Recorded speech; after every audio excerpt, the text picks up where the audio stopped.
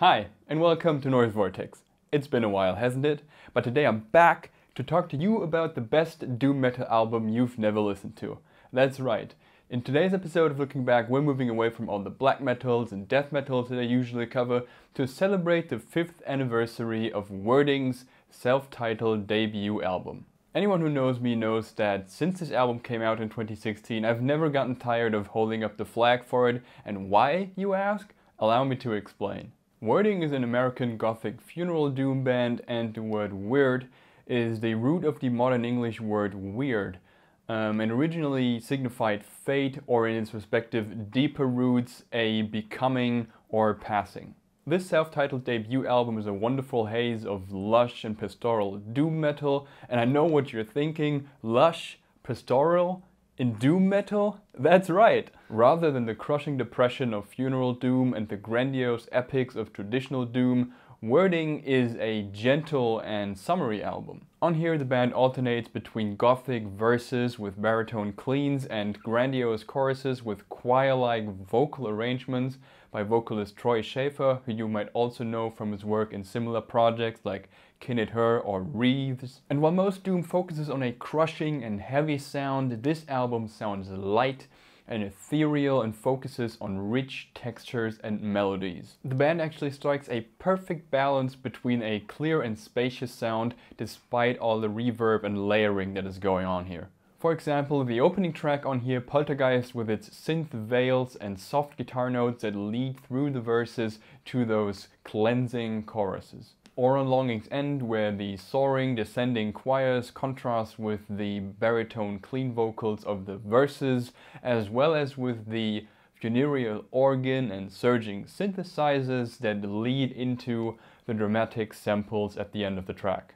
The band also diversifies their sound with some shoegazy tremolos on Impression 1 and some added piano notes on uh, Steaming Blood Ascends Beyond the Moon, the latter of which is the longest and also the most complete feeling song on this album. Now, for the Spotify version of this album, there are two more songs after this point with Au the Ren and Impression 2, the latter of which brings back the soft tremolos and soaring clean vocals for this sub 2 minute breakup song, but the Bandcamp version of the album also includes the band's two track demo, Agony in Being. The reason why I mention this is not just because the band already made a huge step forward from their demo to their debut album, but also because the songs on this demo, while being a bit more firmly rooted in actual doom metal with more conventional vocals, um, already featured these abstract ambient segments and uh, many diverse synthesizers.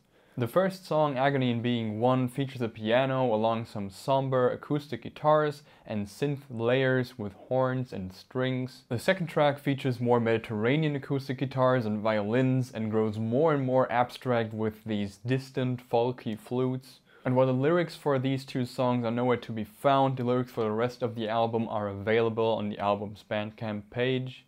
And just like the music on here, and unlike a lot of other Doom, the lyrics here focus on creating a sense of yearning and desire over everything else. What's remarkable about these abstract lyrics about love and longing is that they are actually the product of word games that involved role-playing, uh, text and image collage, and uh, performative ritual, as the band describes. And what I really want to underline with all of this is how uh, creative and innovative this album really is.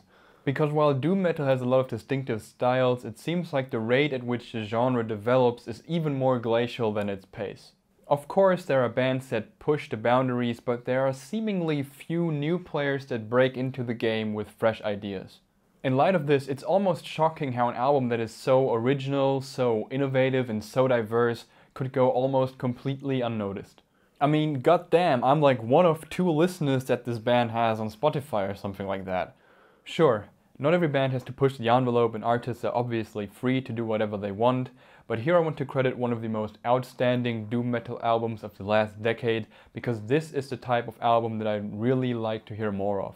Doom metal holds a lot of untapped potential and many other subgenres like black metal have seen an immense amount of progress over the last decade and I think bands like Wyrding show that doom metal can do the same. Alright, that's it from me. What do you think about this album? Or what are some unusual doom metal albums that you think more people should listen to? Please let me know in the comments down below. As always, if you enjoyed this video, please leave a like and consider subscribing. If you do, remember to hit the bell so you get notified about new videos as they come out. Over here right next to me you can find a playlist with all previous episodes of Looking Back. Thank you very much for watching, have a good one and I'll see you next time.